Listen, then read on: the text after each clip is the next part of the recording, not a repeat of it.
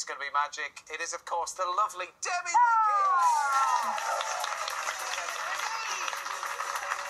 Hiya, Debbie.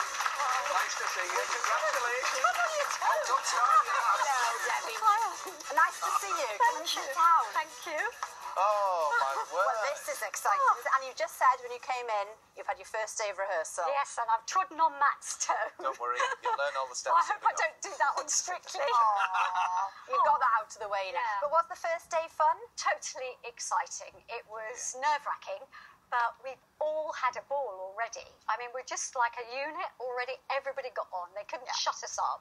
Then we met all the pros, and then they really couldn't shut us up. You know, we're happy. Somebody had to go and get a whistle so that they could shut us up to start the dancing. And we've Yeah. already been dancing today. It's I can't tell you. I've Well, once you start, you don't stop, let me tell you, Dave. But, I mean, this isn't the first time that we've met before because, as you Yeah. know, uh, I did Strictly Yeah. with your former husband, Yes. with Paul Daniels.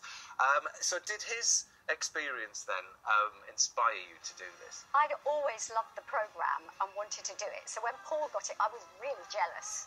Oh, were you? yeah, I wanted to do it.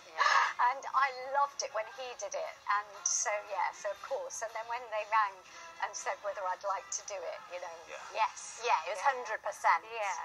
I mean, just getting back to, to your late husband, Paul, and I, I mean, Sir Bruce was a big inspiration Yes. of his as well, wasn't he? Yeah, Paul, whenever Paul was interviewed, he always said, you know, his inspiration was Bruce.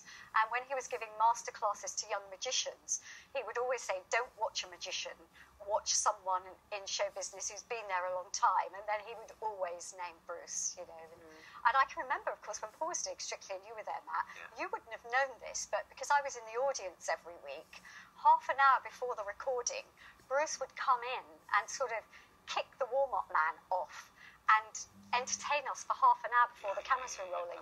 And as soon as he walked into that studio, and it and it has its own electricity. Oh, yeah. But when Bruce walked in, it lit up.